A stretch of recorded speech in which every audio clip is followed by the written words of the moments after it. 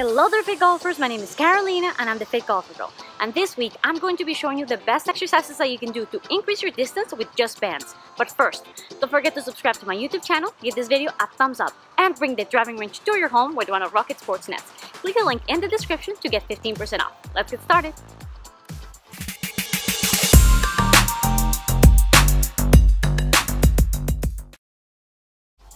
Increasing our swing speed will be the key to gaining distance at the golf course.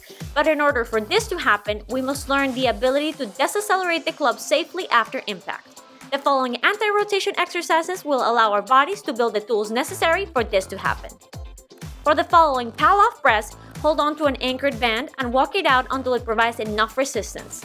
Start with your arms on your chest and extend them out until you feel your abs working hard to keep you in place.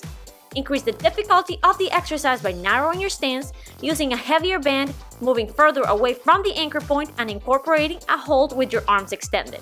Repeat facing the opposite direction.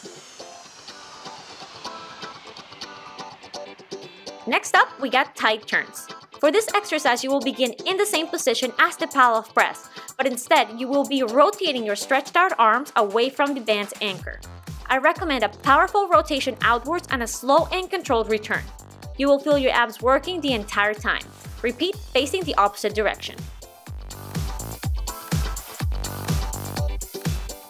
This simple plank with row will help you work on your core stability, strength, and your anti-rotation skills.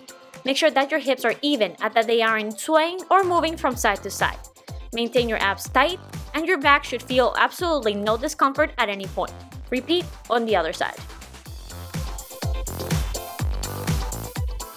Proper glute activation, strength, and hip movement is essential to generate faster swing speeds that will allow us to hit the ball further at the golf course.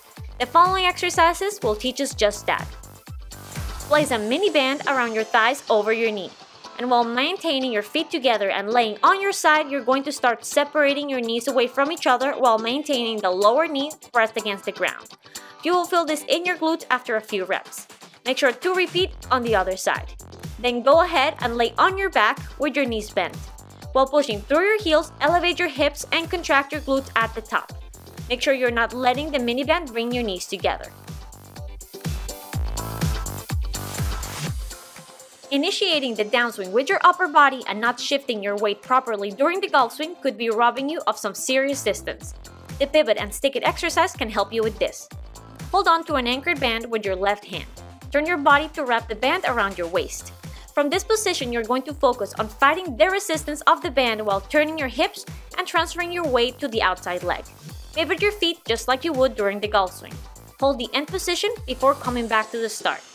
Make sure you're initiating the movement with your hips. Repeat on the other side. Alright Fit Golfers, that's it for this week. If you want me to be your golf fitness coach, click the link in the description or check out the Fit Golfer Girl blog to learn more about my online golf fitness training programs. Follow me on social media, subscribe to my YouTube channel, and if you have any questions, send me an email at fitgolfergirl at gmail.com. See you guys next week. Mwah.